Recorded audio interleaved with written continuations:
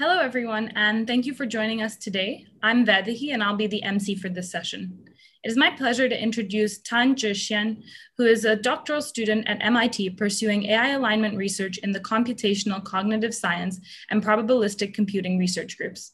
Their current focus is on inferring the latent hierarchical structure of human motivations by modeling agents as probabilistic programs with the hope of aligning AI with higher order goals, values, and principles that humans strive in part to live by. Xuan also serves as a board member of EA Singapore and was formerly a lead organizer for Yale EA.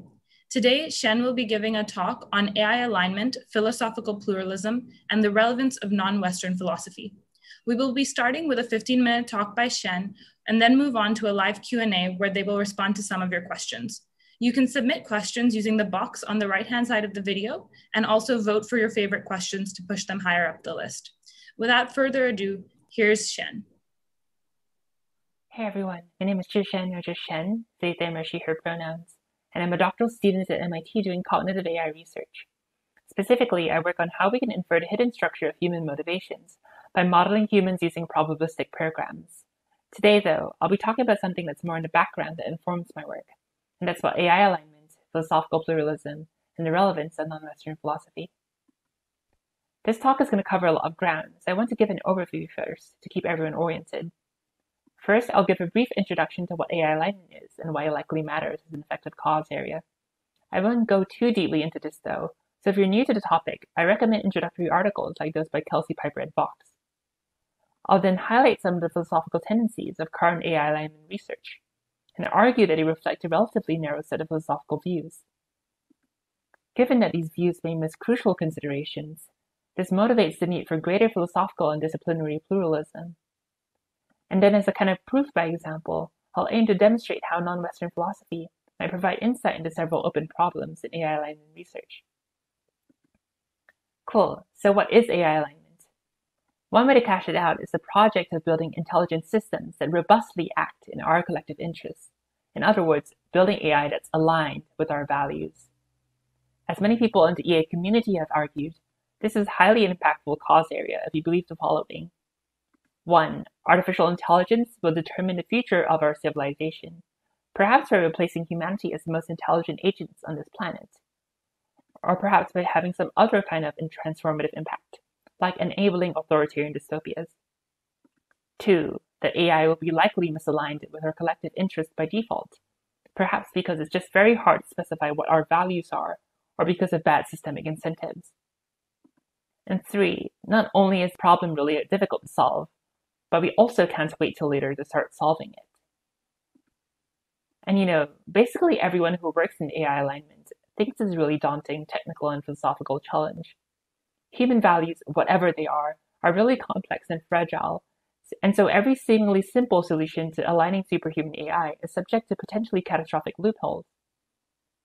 I'll illustrate this by way of this short dialogue between a human and a fictional superintelligent chatbot called GPT-5 who's kind of like this genie in a bottle.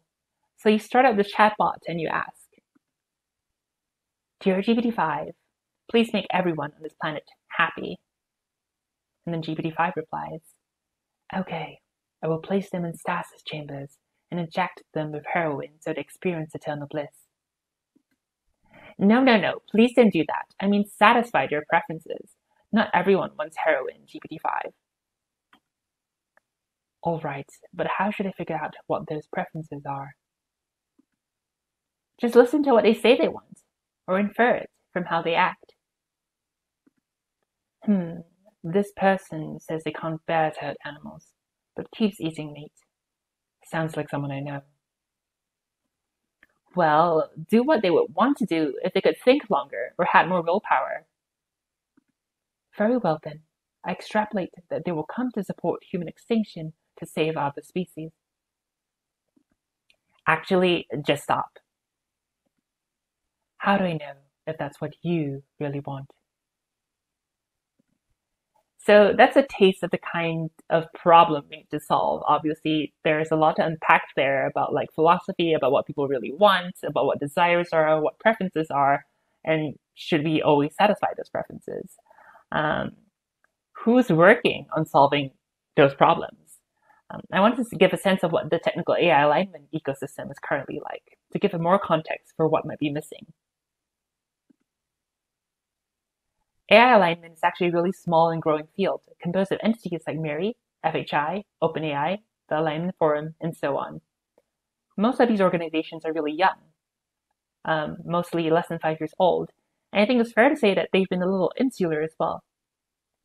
Because you think about AI alignment as a field, and the problems it's trying to solve, you think it must be this really interdisciplinary field that sits at the intersection of broader disciplines, like human-computer interaction, cognitive science, AI ethics, and academic philosophy. But the truth is, to my knowledge, there actually isn't very much overlap between these communities. It's more off to the side, like in this picture. There are reasons for this, which I'll get to, and it's already starting to change.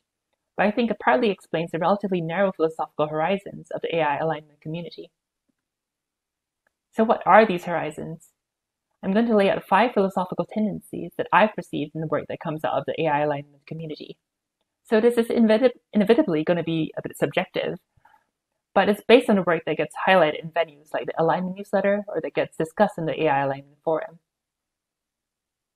First, there's tendency towards connectionism, the position that knowledge is restored as subsymbolic weights in neural networks rather than language-like symbols.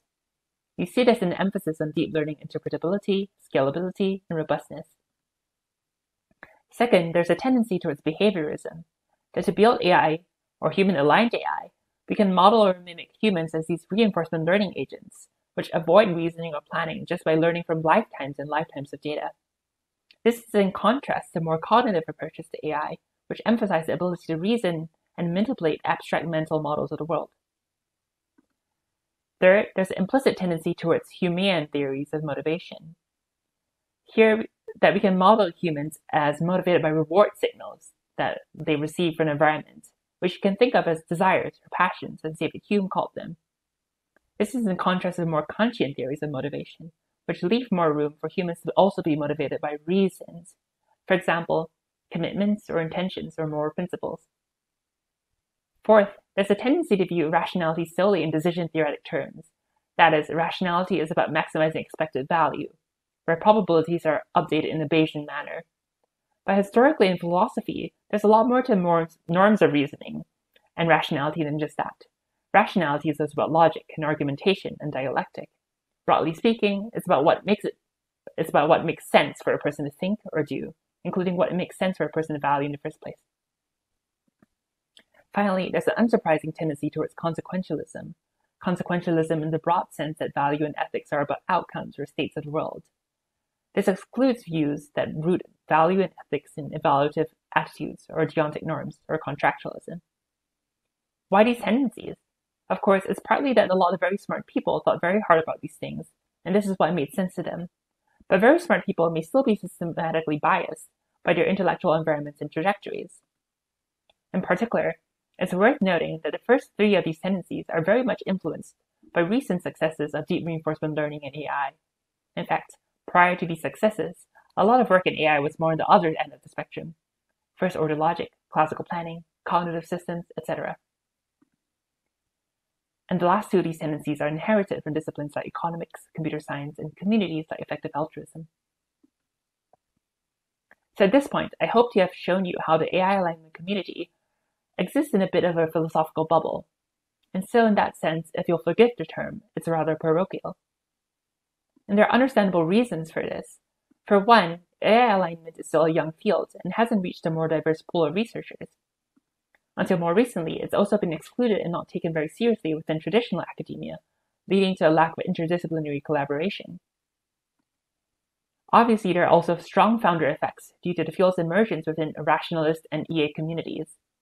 And like much of AI in STEM, it inherits barriers to participation from an unjust world. These can be, and in my opinion, should be addressed. As the field grows, we could make sure it includes more disciplinary and community outsiders. We could foster greater interdisciplinary collaboration within academia. We could better recognize how our founder effects may bias the search through the space of ideas. And we could lower the barriers to participation while countering unjust selection effects. But why bother? What exactly is the value in breaking out of this philosophical bubble? And why do I use the word pluralism in particular, as opposed to just diversity? By philosophical pluralism, I mean to include philosophical diversity, by which I mean serious engagement with multiple philosophical traditions and disciplinary paradigms. But I also mean openness to the possibility that the problem of aligning AI might have multiple good answers, and that we need to contend with how to do that. Having defined those terms, let's get into the reasons. The first is avoiding the streetlight fallacy. That if we simply keep exploring the philosophy that's familiar to Western educated elites, we are likely to miss on huge swaths of human thought that might have crucial relevance to AI alignment. The second is robustness to moral and normative uncertainty. If you're unsure about what the right thing to do is, or to align an AI towards, and you think it's plausible that other philosophical perspectives might have good answers, then it's reasonable to diversify our resources to incorporate them. The third is pluralism as a form of political pragmatism. As Iason Gabriel writes, in the absence of moral agreement, is there a fair way to decide what principles AI should align with?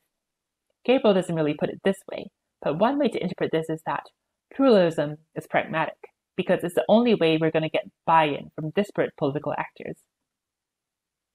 Finally, this pluralism as an ethical commitment itself. Pluralism is respect for the equality and autonomy of persons to choose what values and ideals matter to them. This is the reason I personally find it most compelling. I think in order to preserve a lot of what we care about in this world, we need aligned AI to respect this plurality of value.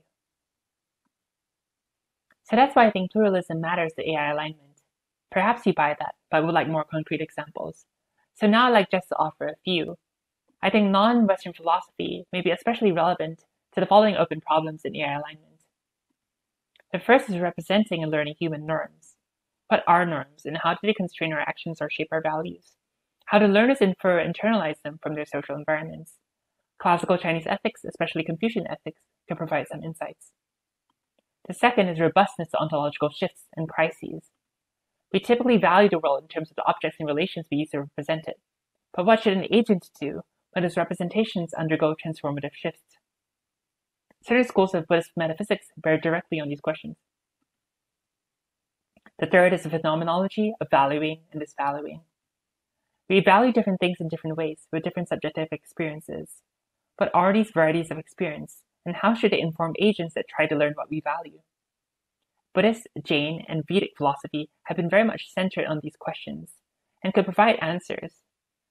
I'm actually going to avoid going into this further, partly to keep this talk within time, also because I think it's increasingly accepted within the West that contemplative traditions may have useful insights about these questions. Before I go on, I also wanted to note that this is primarily drawn from only the limited amount of Chinese and Buddhist philosophy that I'm familiar with. This is certainly not all of non-Western philosophy, and there's a lot more out there, outside of the streetlight, that may be relevant. So, representing and learning human norms, why might you care about this? One answer that's common from game theory is that norms have instrumental value as coordinating devices or unspoken agreements. If you look to Confucian ethics, however, you get a quite different picture. On one possible interpretation of Confucian thought, norms and practices are understood to have intrinsic value as evaluative standards and expressive acts. You can see this, for example, in the Analects. This word li is hard to translate, but it means something like ritual propriety or etiquette, and it recurs again and again in Confucian thought. This particular line suggests a central role for ritual in what Confucians thought of as a humane and virtuous life. How to inter- interpret this? Kwong-loi Shun suggests that this is because while ritual forms may just be conventions, without these conventions, important evaluative attitudes like respect or reverence cannot be made intelligible or expressed. I was quite struck by this when I first encountered it, partly because I grew up finding a lot of that stuff really pointless and oppressive. And to be clear, some norms are oppressive. But I recently encountered a very similar idea again in the work of Elizabeth Anderson, who I cited previously, that made me come around more to it. In speaking about how individuals value things and where we get these values from, she argues that individuals are not self-sufficient in their capacity to value things in different ways. I'm capable of valuing something in a particular way only in a social setting that upholds norms for that mode of valuation. And I actually find this really compelling. If you think about what constitutes good art or literature or beauty, that's undoubtedly tied up in norms and about how to value things and how to express those values. If this is right, then there's a sense in which the game theoretic account of norms has got things exactly reversed. In game theory, it's assumed that norms emerge out of the interaction of individual preferences and so are secondary. But for Confucians and Anderson, it's the opposite. Norms are primary, or at least a lot of them are, and what we individually value is shaped by those norms. This would suggest a pretty deep reorientation of what AI alignment approaches that learned human values need to do. Rather than learn individual values and figure out how to balance them across society, we need to consider that many values are social from the outset. Next topic, robustness to ontological shifts and crises. This is actually a somewhat old problem, first posed by MIRI in 2011, and it goes as follows. An agent defines his objectives based on how it represents the world. What should happen when the representation is changed? As it turns out, Buddhist philosophy might provide some answers. To see how, it's worth comparing it against commonplace views about reality and the objects within it. I think most of us would grow up as what you might call naive realists, believing that through our senses, we perceive the world and its objects directly as they are. By then, we grow up and study some science and encounter optical illusions, and maybe we become representational realists instead. We believe that we indirectly construct representations of external world from sense data, but the world being represented out there is still real. Now, Madhyamaka Buddhism goes further. and rejects the idea that there's anything ultimately real or true. Instead, all facts are at best conventionally true, and while there may exist some external reality, there's no uniquely privileged representation of that world that is the correct one.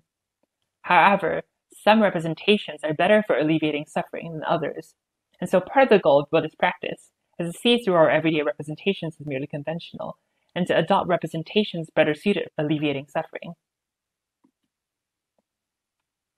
This view is demonstrated quite remarkably in the Vimalakirti Sutra, which actually uses gender as an example of a concept that we need to see through as conventional. I was quite astounded when I first read it, because the topic feels so current, but the text is actually 1800 years old. All this actually quite closely resonates, in my opinion, with a recent movement in Western analytic philosophy called conceptual engineering, the idea that we should re-engineer concepts to suit our purposes.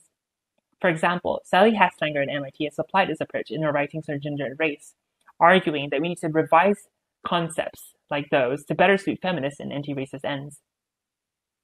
I think this methodology is actually a really promising way to deal with the question of ontological shifts. It almost suggests this iterative algorithm for changing our representations of the world, as shown on the screen. Whether this would work, or would lead to reasonable outcomes, is I think really open research terrain. With that, I'll end my whirlwind tour of non-Western philosophy and offer some key takeaways and steps forward. What I hope to have shown with this talk is that AI alignment has drawn from a relatively narrow set of philosophical perspectives. Expanding the set, for example, with non-Western philosophy could provide fresh insights and reduce the risk of misalignment. In order to address this, I'd like to suggest that prospective researchers and funders in AI alignment should consider a wider range of disciplines and approaches.